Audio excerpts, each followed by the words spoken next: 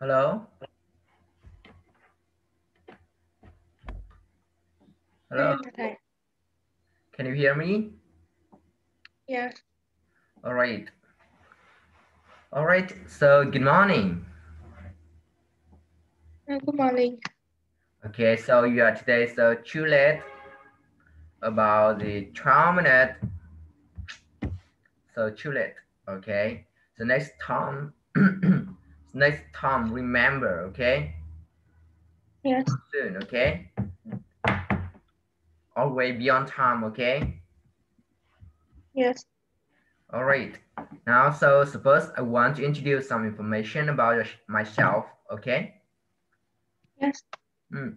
My name is Hùng, and my full name is Trần Mạnh Hùng, and I'm the third year student in international school. And now I'm a teacher at Pantado. And today I'm very happy to help you to learning English, okay? Yes. All right. Now, do you understand? Mm, yes. Hmm? Can you introduce to me? My name is Linh. Nhật. Mm, How old are you? I'm uh, uh, 15. 15? 15. Yes. Right. Uh, where do you live? I'm uh, live in uh, Hạ Long. Uh-huh. Hạ Long, Quảng Ninh, right? Yes. Mm. And what is your school name? Uh, secondary school. Uh, Văn Tám Secondary School. Okay, great. So which school do you want to go to study in high school? Which high school? Mm, Which high school? mm, câu này thầy dịch hộ em được không? Alright.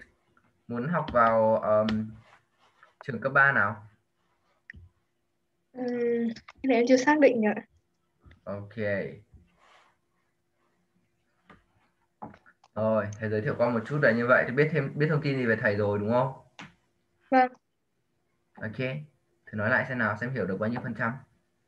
Ừm, thầy là thầy Hùng tên là Nguyễn Mạnh Hùng và No, no, no, I'm not Nguyễn. à, Let's see in Zoom. Thầy để tên ở trên Zoom đấy. à, Trần Mạnh Hùng. Okay. Now continue. Ừm,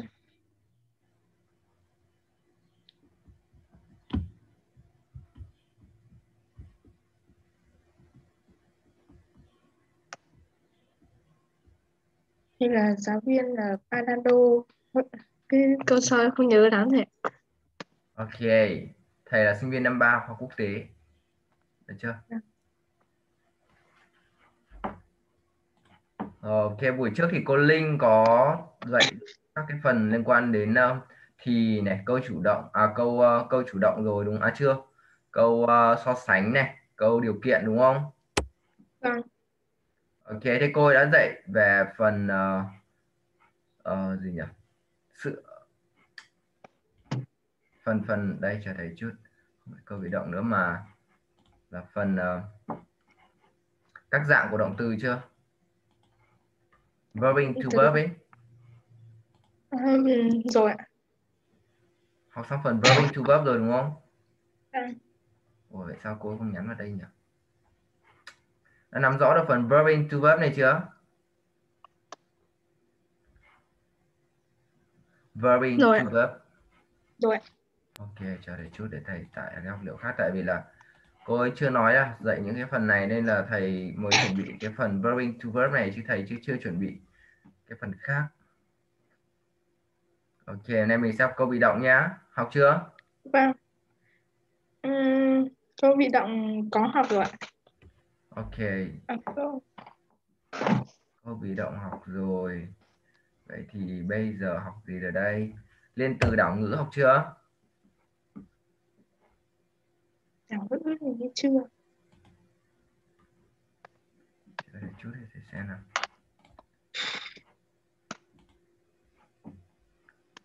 À, đây là câu trẻ này. Liên từ này và đảo ngữ. Đã học chưa clap sentences chưa. Là câu trẻ.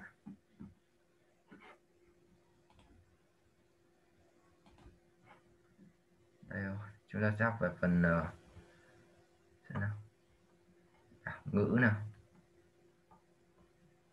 Phần đảo ngữ này thì hầu như là ít vào và phần câu trẻ này thì cũng ít khi gặp. Bây giờ thế là cô làm nhầm hết mất rồi câu trực tiếp câu gián tiếp học chưa? Trực tiếp gián tiếp học rồi ạ. À học thấy cô mới nói là đâu nhỉ? Trực tiếp gián tiếp là chưa học đi. Chưa học. Okay. xem nào câu trực tiếp và câu gián tiếp. Trời ơi do thầy tải về. Đâu mất rồi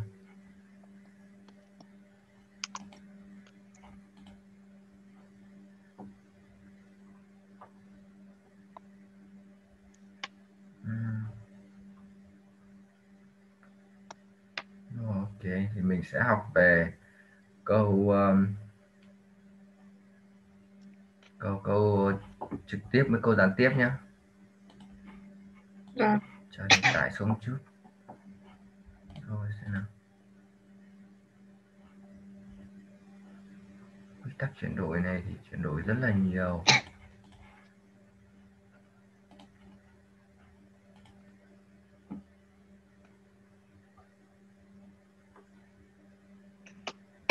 à, chuyển đổi câu trực tiếp sang câu gián tiếp thì khá là nhiều cái. Lồi thì này. Rồi ta.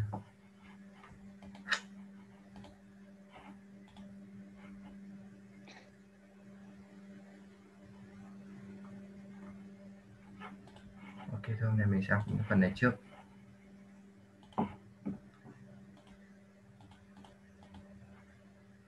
rồi ta sẽ có chuyên đề ôn thi tốt nghiệp luôn.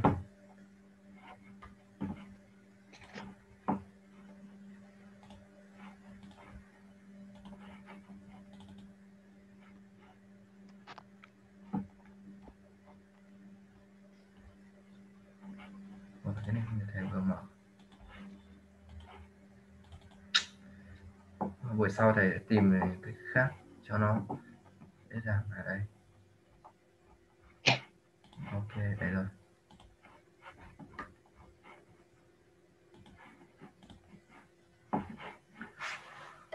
Ok nào chúng ta bắt đầu vào học nào. Trời ơi cô linh ơi là cô linh. Nào hôm nay chúng ta sẽ học về cái câu chủ, à, câu chuyển chúng ta sẽ chuyển từ câu trực tiếp sang câu gián tiếp được chưa? Không phải là câu chủ động câu bị động nữa mà câu trực tiếp sang câu gián tiếp. Được chưa? Ok. Rồi về. Ở đây chúng ta có lý thuyết chung. Được chưa? Khi mà mình muốn Rồi. chuyển từ một câu trực tiếp chưa sang một câu gián tiếp thì mình cần phải nắm được những yếu tố sau. Thứ nhất đó chính là thì của động từ. Được chưa? Phần đầu Vâng. tiên là phần thì của động từ. Phần thứ hai là các cái trạng từ chỉ thời gian và nơi trốn nếu có. Phần thứ ba đó chính là các cái đại từ nhân xưng các tính từ sở hữu. Được chưa? Rồi. Ok đây là phần lý thuyết chung. Thì với các cái thì của động từ ấy được chưa nào? Chúng ta phần đầu tiên là thì của động từ. Thì ở trong lời nói trực tiếp khi mà chúng ta muốn chuyển từ lời nói trực tiếp sang gián tiếp được chưa? Cái từ trực tiếp sang gián tiếp chúng ta bắt buộc phải lùi một thì được chưa? Của động từ. Lùi một thì của động từ được chưa nào Vâng.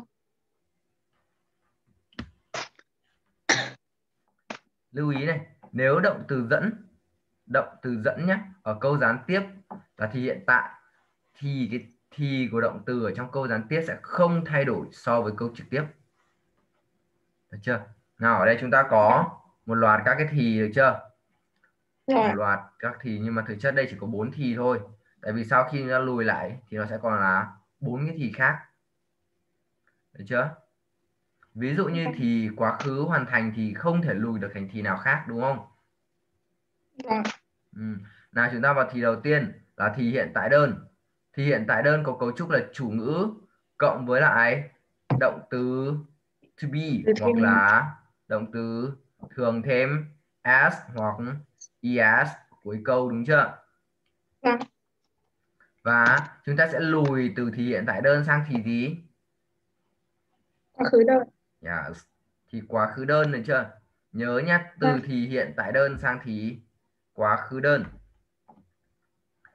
Tiếp theo đến thì hiện tại tiếp diễn.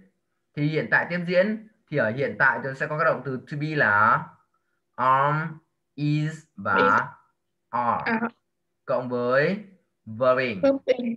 đúng chưa thì Vâng. khi chuyển về thì lùi về thì quá khứ tiếp diễn thì sẽ có cấu trúc là chủ ngữ cộng với was hoặc là were cộng với verbing Vâng. vậy thì chủ chủ ngữ nào sẽ đi với was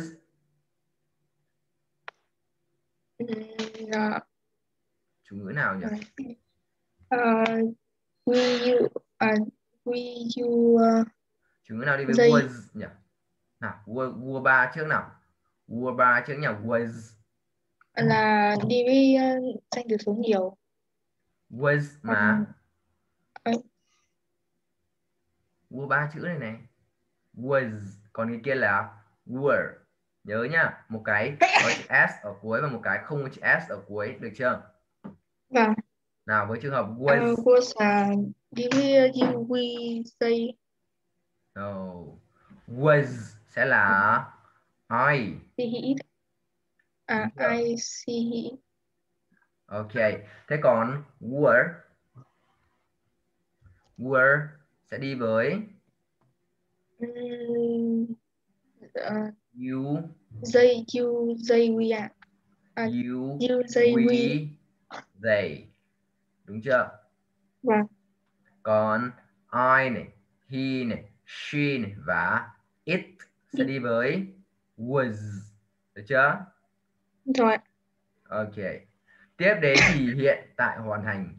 Hiện tại hoàn thành sẽ có các chủ ngữ cộng với has hoặc là have cộng với động từ ở đâu đấy? Từ. P2 là gì nhỉ? Động từ này chia như thế nào nhỉ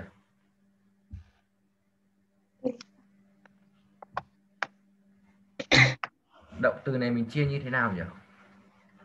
P2 P nghĩa là gì? P2 là gì đấy? Past participle. Past participle là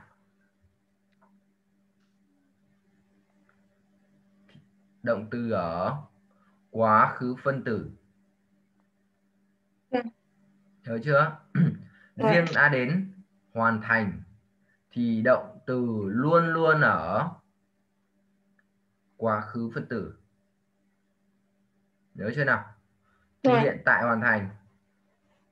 Cứ đến nói đến hiện cứ nói đến hoàn thành được chưa? Ở hiện tại thì sẽ là has hoặc là have còn ở quá khứ thì sẽ là had.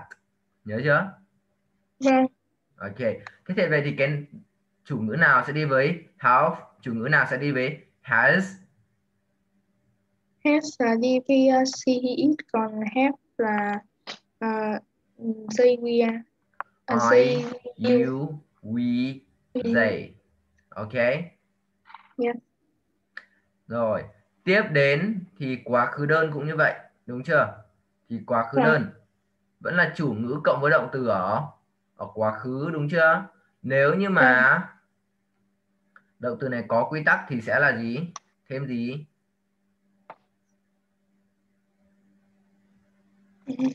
thêm gì nhỉ? Có quy tắc thì thêm gì? F E ed Vâng. quá khứ mà. Vâng. Nếu như mà bất quy tắc ở cột số mấy? Cột số 2 trong bảng động từ bất quy tắc. Được chưa? Đấy là ở quá Dạ. khứ. Nhớ chưa? Vâng. Có quy tắc thì thêm ed. Bất quy tắc thì sẽ là ở cột số 2 của bảng động từ bất quy tắc. Đấy là thì quá khứ đơn động từ ở quá khứ đơn. Thế còn động từ ở quá ở hiện tại hoàn thành hay quá khứ hoàn thành mà chia ở quá khứ 分 từ ấy thì sẽ là cột mấy trong bảng động từ bất quy tắc? Cột số mấy? Ba. Ok, cột số 3 được chưa? Nhớ là Dạ. quá khứ đơn thì sẽ là ở cột số 2. Còn quá khứ phân tử sẽ ở cột số số 3. Ok. Còn Dạ. khi chia ở quá khứ, được chưa? Cứ ở quá khứ, nếu như có quy tắc thì sẽ thêm ed.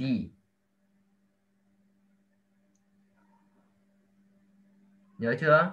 rồi còn ở hiện tại còn ở hiện tại đơn. Thì sẽ thêm s hoặc là es nếu như chủ ngữ là số ít số ít thì Vâng. động từ mới chia. Số nhiều thì động từ không chia. Nhớ chưa? Rồi. động từ nếu như mà thêm s hay là es thì sẽ là ở số ít còn không thêm s hay es thì sẽ ở số nhiều. Động từ sẽ ngược lại so với lại danh từ. Được chưa? Cứ nhớ là động Rồi. từ luôn luôn ngược với danh từ khi chia về số. Số được chưa? Chúng ta gọi là số lượng ấy. Vâng. nào. Bây giờ chúng ta sẽ sang đến các cái cấu trúc được chưa? Is hay là is Amma going to do? Đúng chưa? Thì mình sẽ chuyển về quá khứ là was hay là were cộng với going to do. Going to do vẫn để nguyên, được chưa? Chúng ta chỉ chuyển các động từ to be này thôi. Từ to be ở hiện tại là am, is, are chuyển sang thành was, were đúng chưa? Tiếp theo đến các cái động từ quyết thiếu. Can may must do. Được chưa? Vâng. thì sẽ chuyển thành can chuyển thành could. can thành could may thành mai might. Must thành have to? To do will sẽ thành? Would. Đúng chưa? Rồi ok nhớ những cái dạng đặc biệt này. Nhất là về cái gì nhỉ? Động từ quyết thiếu.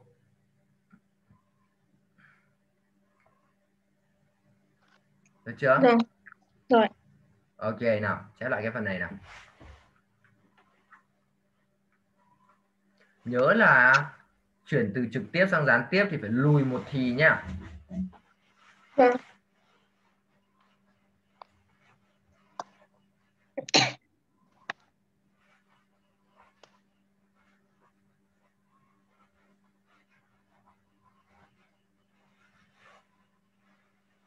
kẻ vợ chia thành hai cột ra dễ hơn cứ nhớ là ở hiện tại đơn thì chia thành quá khứ đơn. Cấu trúc thì ở đây thầy ghi hết rồi. Ừ. nhớ nhá nhớ là cái động từ nào ở quá khứ thì chia ở cột 2 thì nào thì chia cột 2 mà thì nào thì chia ở cột 3 nhá. Vâng rồi thì ở hiện tại tiếp diễn với lại quá khứ tiếp diễn thì chủ ngữ chủ ngữ nào sẽ đi với lại to be nào nhá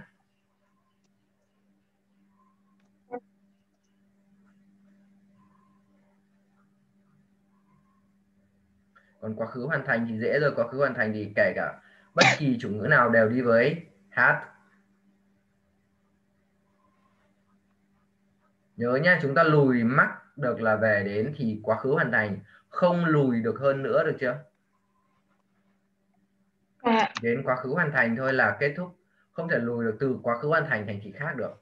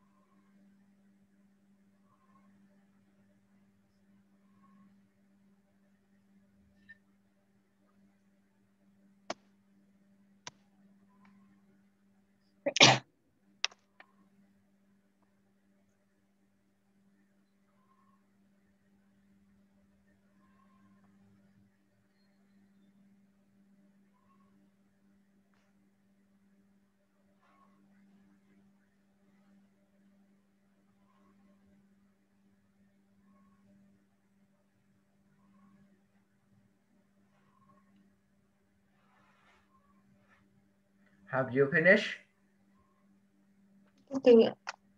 rồi.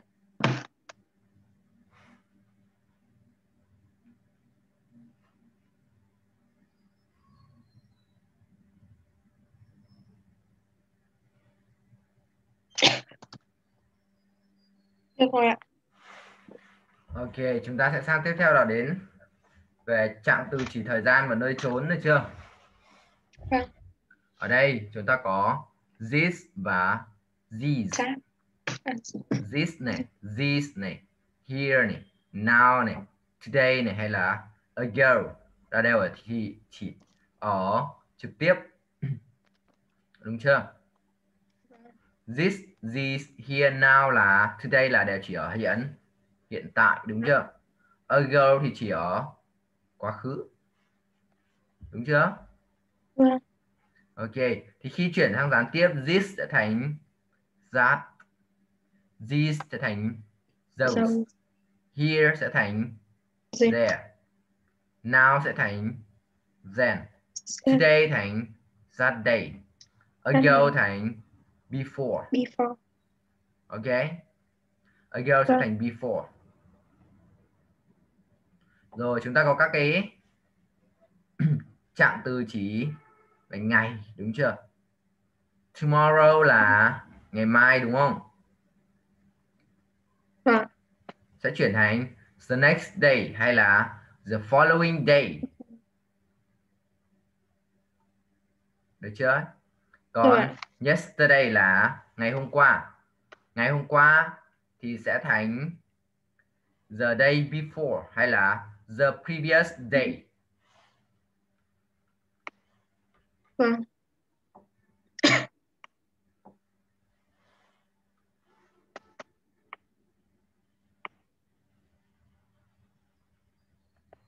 rồi, last cũng như vậy ví dụ như last week hay là last year hay là last month thì sẽ là the previous week, the previous month, the previous year đúng chưa Vâng. hay là the week before the month before the years before đúng chưa Vâng. next cũng như vậy next cũng giống như thế cũng là the following đúng chưa cứ nhớ hôm qua thì là previous previous còn ngày mai sẽ là the following. Yes. okay let's write down it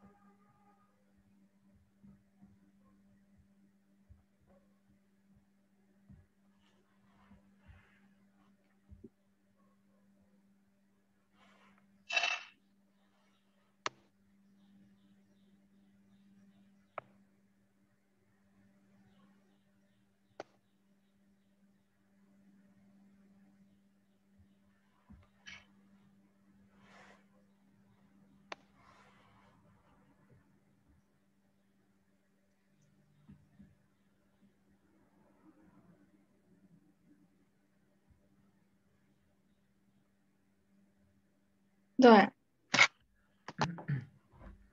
Tiếp theo chúng ta sẽ đổi các đại từ nhân xưng, các tính từ sở hữu, các đại từ sở hữu, được chưa? Ừ. Đầu tiên là đại từ nhân xưng hay gọi là chủ ngữ. Chúng ta có chủ ngữ I, you, we, đúng chưa? Vâng. Chủ ngữ I sẽ chuyển thành he hay là she. Tại vì cái người nói sẽ nói là I chứ không nói là he hay là she đúng chưa ở trực tiếp. Thì khi chúng ta chuyển từ lời nói của anh ấy hay cô ấy thì mình phải chuyển chủ ngữ của anh ấy là I thành he hay là she. Đúng chưa? À. ví dụ như thầy nói I thì ở đây chúng ta sẽ chuyển thành he. Ok? Yes. we chúng ta sẽ chuyển thành they. We chuyển thành they nha. Còn you ở đây you ở đây có rất nhiều rất nhiều các đại từ khác nhau khi mà chuyển đúng chưa chuyển thành I cũng được này we hay là he hay là she đúng chưa Yes. nói chung là you thì khi ở gián tiếp ở trực tiếp thì nói you tức là nói mình này, hay nói nhóm bạn mình hay nói anh ấy hay là cô ấy đúng chưa thì Vâng. mình sẽ phụ thuộc vào cái người được nói đấy là ai ok? Yes. chứ không phải bắt buộc là cứ từ nhìn thấy có à nhìn khi mà chuyển đúng không? Khi mà nhìn thấy có ai lại bảo ơ rõ ràng chuyển sang gián tiếp thì làm gì có? Còn ai nữa đâu đúng không? Mà ai sẽ phải thành he hay she đúng không? Nhưng mà hãy nhớ là cái chủ ngữ trước đấy là you. Và phải xác định được xem nó là I hay là we. Được chưa? Vâng. Ok, tiếp theo đến tân ngữ. Tân ngữ thì có me. Me là tôi, đúng chưa? Nhưng mà me đây là tân ngữ chứ không phải là chủ ngữ, cũng nói là tôi. Thì sẽ chuyển thành him hay là her, anh ấy, cô ấy. Tiếp đến us sẽ thành them. Còn you sẽ thành me, him, her. Đúng chưa? Vâng.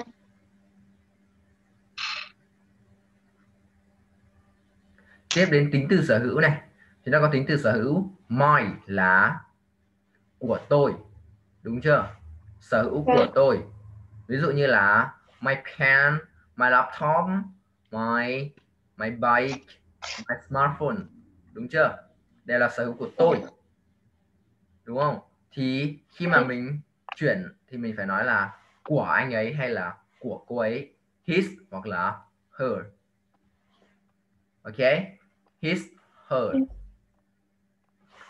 Tiếp đến our. Our là ai nhỉ? Chúng tôi. Ok, sẽ chuyển thành their của họ.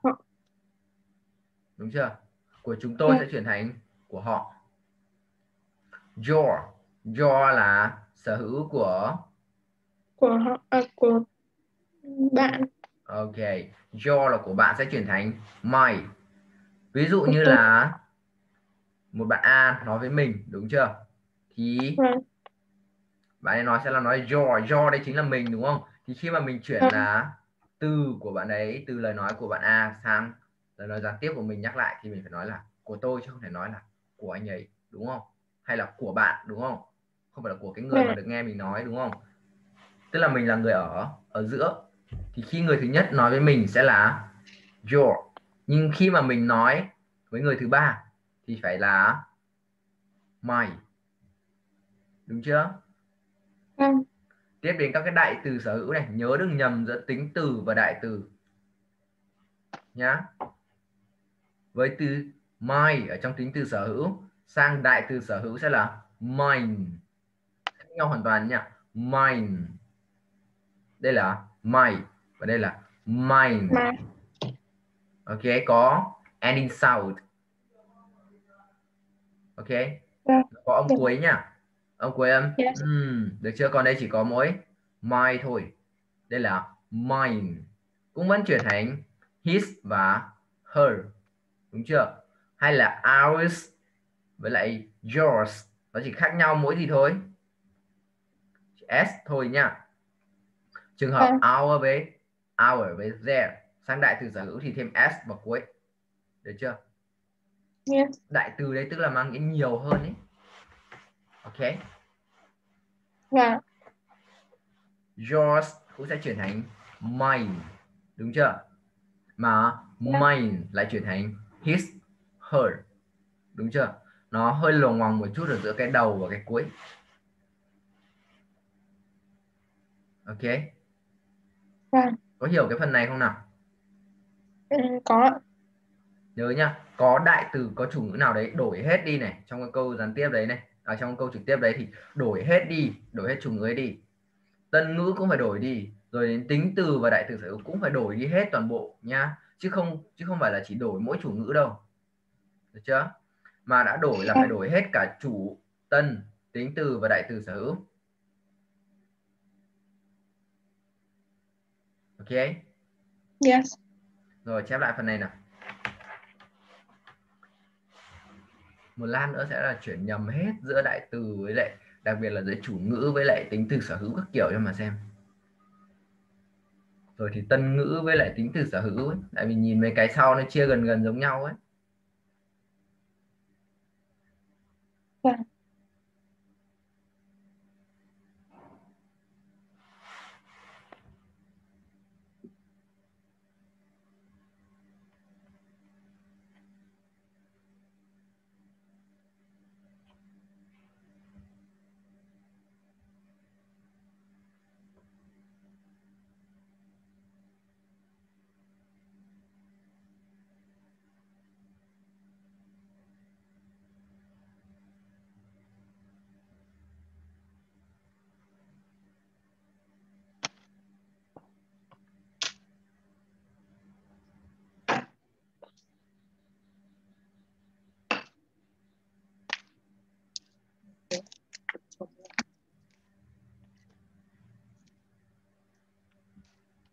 Như xong ạ. ok. Rồi. Và khi mà chuyển từ câu trực tiếp sang câu gián tiếp chúng ta sẽ có ba nhóm. Được chưa? Vừa nãy là chúng ta học về cách chuyển được chưa? Bây giờ chúng ta sẽ xem là các cái câu ấy nó vào các cái nhóm nào. Được chưa? Rồi đầu Ờ, tiên thì câu trần thuật thì đơn giản rồi đúng không? Câu trần Vâng. thuật là câu rất là dễ rồi. Chủ ngữ cộng động từ cộng tân ngữ thế thôi. Đúng chưa Dạ. rồi bây giờ chúng ta sẽ sang phần câu hỏi.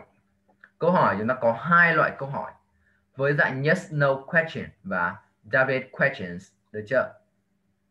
Vâng. với dạng yes no question thì chúng ta sẽ chuyển sang gián tiếp sẽ là chủ ngữ này cộng với ask nhớ là quá khứ nhá hay là wanted to know. Được chưa? Được rồi ạ. Rồi ạ. cộng với if hoặc là whether cộng chủ ngữ cộng động từ và động từ này nhớ là động từ phải lùi một thì rồi nhá chứ Vâng. không thể nào ở đây ở hiện tại mà đây lại à đây ở quá khứ rồi mà đây là ở hiện tại được đâu nhá không bao giờ đã cùng nhau ở trong một câu thì phải ở cùng một thì không thể nào mà vế trước thì quá khứ mà về sau thì hiện tại được được chưa? Đấy là sự Vâng. hòa hợp giữa chủ ngữ và động từ đấy. Ok. Đấy là dạng yes Yes. no question. Tiếp đến dạng David question. David question thì chúng ta sẽ có chủ ngữ cũng vẫn là chủ ngữ này cộng với ask hay là wanted to know. Được chưa? Vâng. và cộng với từ để hỏi David would được chưa? Cộng với từ để hỏi ở đây. Từ để hỏi chúng ta có các từ nào? Từ để hỏi. Có what where which who whose. Đúng chưa? Vâng. sau đó sẽ cộng với chủ ngữ cộng với lại động từ. Và động từ này cũng vẫn tiếp tục lùi một thì. Lùi thì. nhớ chưa? Vâng. Ok. Nhớ là động từ luôn luôn lùi một thì. Rồi. Ok rồi. Nay chúng ta sẽ học đến đây thôi được chưa? Chỉ học Dạ câu trần thuật thì đơn Vâng. giản rồi đúng không? Dạ câu trần thuật thì rất là Vâng. đơn giản rồi. Chỉ cần chuyển đổi từ gì nhỉ? Các cái chủ ngữ, tân ngữ, tính từ và đại từ sở hữu thôi. Và chia động từ ở thì đúng thì của nó được chưa? Vâng. Rồi, đấy là về câu trần thuật. Còn câu hỏi, câu hỏi thì nhớ là chủ ngữ nha. Và cộng với ask hay là wanted to know. Được chưa? Vâng. Nhớ nhá, ask cộng với wanted hoặc là wanted to know. Một trong hai nhá, một là ask, hai là wanted to know. Ask là hỏi này, wanted to know có nghĩa là muốn biết. Được chưa? Cộng với if Vâng. hoặc là whether. Nhớ nhá là if hoặc là whether.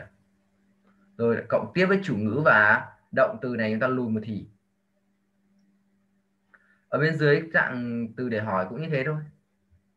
Cũng vẫn là ask hay là wanted to know. Cộng với từ để hỏi, cộng với chủ ngữ và cộng với động từ đã lùi một thì so với câu trực tiếp.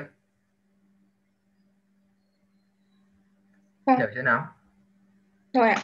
Ok, chép lại nhanh nào.